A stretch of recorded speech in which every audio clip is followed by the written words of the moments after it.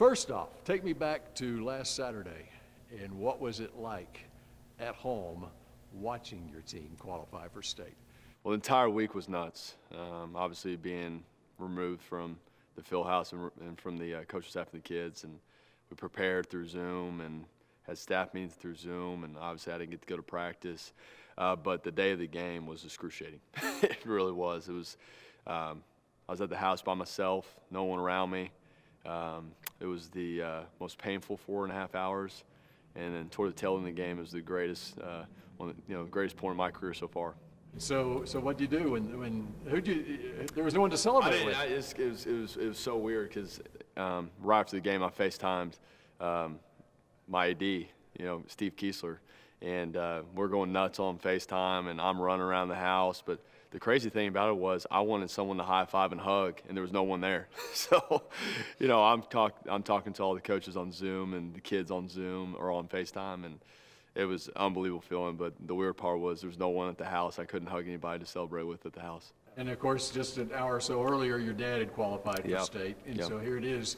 It's the Dodge Bowl. Yeah. What what has this week been like? you know, right after the football game, and obviously super excited about us getting the victory. Um, you know, it, it started to set in that you know, we're going to play for state championship, but we're also going to compete against Austin Westlake and my dad, and uh, just um, crazy, crazy deal. All the stars aligned, and you know, we're supposed to play the first game of the year this year, and you know, due to COVID, it got canceled. But you know, that game was an invitation, and you know, you know, this this is a lot sweeter because you know both programs have earned their right to be here.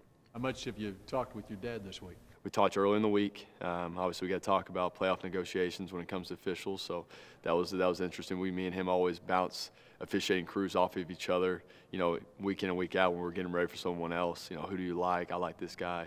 You know, so now I'm going to talk to him about us trying to find a crew. So that was interesting and uh, fun at the same time. But uh, we talked a little bit on Sunday. We talked on Monday, and that, and that was about it. He said this is the first time he's ever said "I love you" to the opposing coach when he hung up the phone. Yeah, same here. Yeah, same here. He said, "I love you." I said, "Love you, pops," and let's go compete. All right. How about mom? She seems like she's doing all right. Well, you know, I think she's uh, a little nervous. Obviously, uh, you know, different situation for her than she's ever been, and as a as a coach's wife, and uh, you know, her her son and husband are you know, uh, locking horns, so to say. So, um, I think she's she's probably the only person that's in the uh, win-win category. So who should she root for? you know, the, the joke I, I said to her was, you know, I feel like she should be on my side this week just because I'm blood to her and he's not. So I threw that at her, um, and she kind of laughed. So we'll see. I think she's supposedly she's going to have some Westlake gear on and some Carroll gear on. I think you have leverage too. Yeah, I think I love her. I have the grandkids. Exactly. Right. I have three grandkids. So, you know, if she wants to uh, uh, see the grandkids, uh, she better uh, be rooting for her son. And then next week, you know, obviously win or lose, we're we're going to uh, we're driving out to Horseshoe Bay for Christmas. So we haven't had a Christmas with them. So win or lose, we're driving out to Horseshoe Bay to have Christmas with my dad and my mom. Can you imagine what it's going to be like for your dad at the end of that game, win or lose? I mean, the emotions, especially for Yeah. dad, and for you too. Yeah, yeah. But for dad, I mean, you want your son to win the ultimate game, Yeah. but uh, you know, you've got all the your own. He's got another 70 sons on his Westlake team too that have worked so hard. For. Yeah, I think it's a lot easier probably for me and him than most than, than people than people think. Uh, you know, we want we obviously I want what's best for my dad. He wants what's best for me. But you know, the situation where we're going to compete against each other, but not just compete, but you know, two programs going to you know for the ultimate prize. And uh, you know, I want the Carroll Dragons to win. You know. Um, and he wants Austin Westlake Chaparrals to win. So, um, you know, I think once everything, the dust settles a little bit after the game, you know, whoever wins or loses, you know, we'll, we'll be there for each other. And the fact that it's Westlake, and Yeah. you win state in the last game that your dad coached you in high school. Uh, what do you remember from that game? a lot. I mean, you know, a lot of emotions going in this game, but especially that one. My at the time, my grandfather just retired. He was a longtime athletic director and head football coach, like you know, and uh, so we have I have a long, long history. Our entire family with Austin Westlake, way before my dad became the became the head coach there. My mom's from there. Uh, like I said, my grandfather was a longtime AD and head football coach. Um, but that football game was uh, very, very special. Um, obviously, winning the football game, but um, there's a you know winning a state championship with your dad and your and your buddies, um, and being the starting quarterback at Carroll and winning it was really special. And then obviously I had a moment on the field, so that, that's one, one of those moments that everybody wants to talk about. That's what everyone else Yeah, remembers that's from what everybody game. remembers from that game. Yep. What happened? I threw up. I threw up on the football field. Um, so you know, going into that week, I had uh, I had been pretty banged up. I got hurt versus Odessa Permian and sprained my ankle pretty bad and cracked some ribs and got into the state championship game. I was feeling a little healthier and was running around a little dehydrated and threw up and then threw the touchdown. And you wound up going to the White House after that, didn't you? Well, yeah, I don't know. About a month or so later, we went to the White House, um, really just on a tour, and that's all we thought it was going to be.